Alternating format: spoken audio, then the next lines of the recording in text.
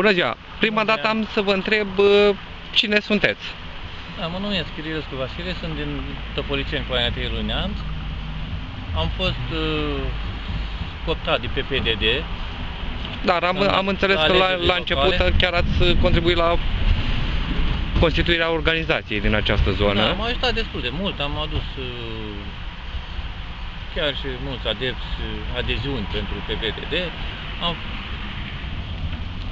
mod special mi-am dat interes în campanie, campania la alegerile locale, în Coainatei. Și ulterior, după campanie, ce s-a întâmplat? Că am înțeles că ați Așa. avut un Am- conflict cu domnul Fărcășanu.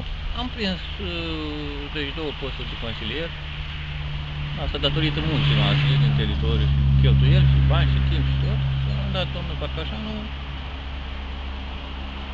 deci fiind uh, felul lui de a fi, de a lua și bagă mereu, ce-o zis? Nu i ca niște bani de la mine.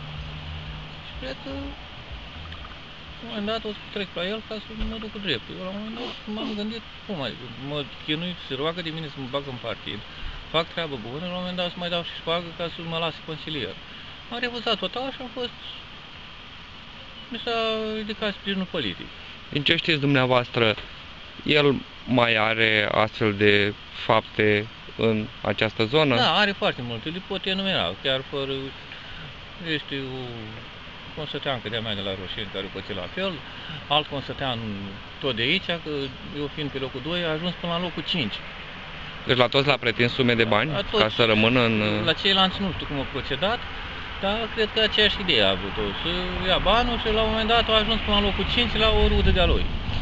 Fiind de aici din zonă, domnul Fărcășanu fiind din zonă, ce ne puteți spune despre el așa, în Da, mare? Cunoscându-l, din, de când l-am știut uh, și din auzite, un om neserios. De- Vă spun cu chiar fără niciun fel de jenă și fără niciun fel de reținere. Deci ce afirm cu, se poate dovedi cu fapte concrete. Fiind mulți, mulți cetățeni din comuna Poiana Teiul Farcașa, care au fost păcăliți și pentați de acest om. Au lucrat la el, a avut gater, firmă gater, au luat lemne, nu au mai plătit bani, nu le-au dat salarii, nu a mers vechimea, nu nimic. Deci își pagă mecherii până la locomandă. Dar cred că asta urmărește în continuare, de asta acum se zbate pentru colegii 8 să prindă post de senator, să capte imunitate, ca să nu se mai... Deci care o condamnare de 6 luni cu suspendare și mai are două dosare care dacă e, e recidivist și o să le dea și asta, el nu are interes pentru noi, pentru cetățenii din Valea Muntelui, el are interesul lui propriu. Vă mulțumesc frumos!